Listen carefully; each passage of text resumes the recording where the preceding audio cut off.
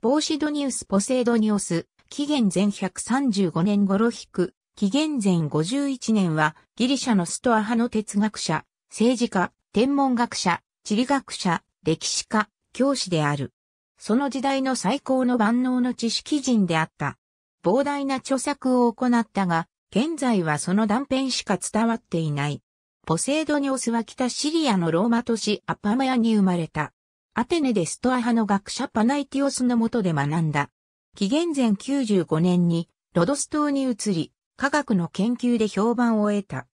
ロドス島では政治家として働き、紀元前87年から86年の間は、ガイウス・マリウスやルキウス・コルネリウス・スッラの時代のローマで大使を務めた。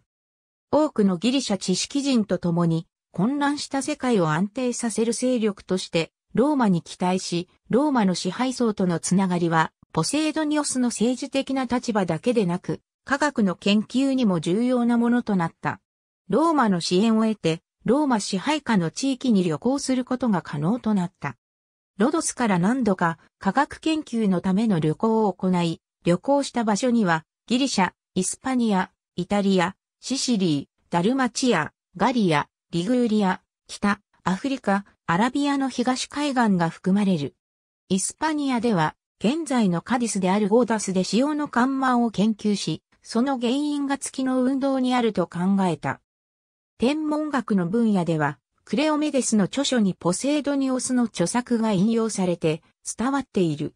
ポセイドニオスは太陽が生命の元であるという理論を進めた。太陽の距離と大きさを測り、太陽までの距離は地球の半径の9893倍と見積もった。実際の距離の半分以下であったが、アリスタルコスらが求めた距離よりも大きくより近いものであった。また月までの距離の測定も言った。地理学の分野においては、エラトステネスによる地球の大きさの見積もりから約100年後に同様の方法を用いて、アレクサンドリア・ロドス島間の緯度差を測定し、7.5度という結果を得た。実際は5度14分程度で、ほぼ50%ほどの超過である。ロドス島はアレクサンドリアよりも若干西方にあるのだが、同じ死後線上にあるとみなし、船の速度と航海の期間から仮想的な死後線古町を5000スタディアと仮定した。